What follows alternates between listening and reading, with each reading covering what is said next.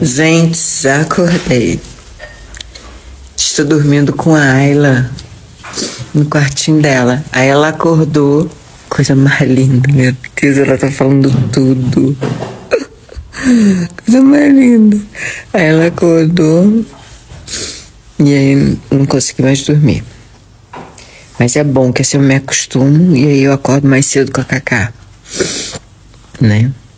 Bárbara tá tomando banho, daqui a pouco eu vou tomar banho. Olha a mesa do café, vou mostrar para vocês. E eu não posso comer nada. Ah,